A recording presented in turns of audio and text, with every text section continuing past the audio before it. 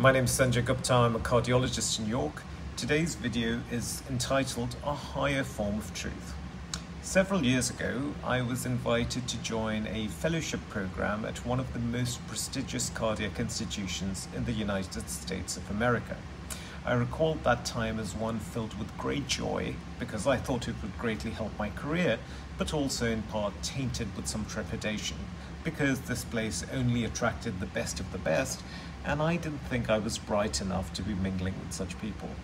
In any case, I turned up with a promise to myself that I was going to make the best out of it. In the first week, I was invited to the departmental research meeting. As I walked in, I saw the chief of the research program at the head of a table and about 15 research fellows with their laptops open, analyzing their in-house database of patients. The atmosphere was tense, noisy, and it all looked very daunting indeed. As the new boy, I thought the only way to try and create a good impression would be for me to try and ask some kind of intelligent question. So I raised my hand and said the following my name is Sanjay Gupta. I've come from the UK. I've just joined. Could I please ask, what is the question that your research is trying to answer?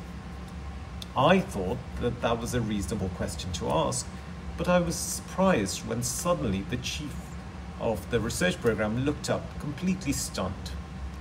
Question? What do you mean, question? The question comes last. First, we mine the data, find significant, statistically significant correlations, and then we build a question based on the answers we find.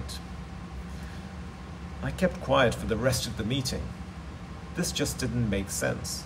How can the answer precede the question? But as time progressed, I realized that this was a practice which was more widespread than I had thought. And the reason is that medical research has also become a bit of an industry. The way I see it is that research should be done to attain a higher form of truth. And the only reward of that endeavor should be the attainment of a higher form of truth. As long as the question is a good question and the experiment to answer that question is carefully designed and rigorously conducted, then any answer that it throws up whether it shows a positive result or a negative result is going to be valuable and will contribute to scientific progress. The reward is reaching a higher form of truth. Unfortunately, this is not the reward that many researchers seek these days. It has become more about fame, money, more funding, job promotions, and competition with colleagues. The more publications you have, the more elevated your public profile. Researchers want to be involved with the biggest studies which need the most investment, and often this investment is provided by pharmaceutical companies who in turn are really only interested in selling their product. In addition, journals who publicize the research findings are also interested in selling their publications and therefore are less likely to publish studies that show a negative result as opposed to ones that show a more exciting positive result. Some editors see results which are null as dull and therefore not suitable for audience consumption. Sometimes organizational and business conflicts of interest also contribute to this publication bias. The problem is that it is the studies that are published in the biggest journals which are then used to develop medical guidelines. And as I discussed in my last videos, medical guidelines dictate how doctors manage patients. The more critically I started looking at this, the less confident I felt that the pills I so willingly distribute are as effective as they're purported to be.